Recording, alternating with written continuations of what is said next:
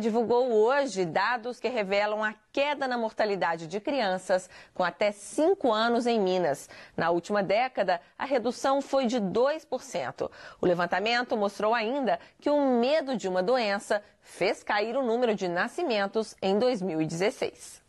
A ameaça do Zika vírus impactou o número de nascimentos ocorridos no ano passado. A queda de cerca de 5%, se comparada com o índice de 2015, está relacionada ao medo da microcefalia, doença que acometeu quase 2 mil crianças em todo o Brasil.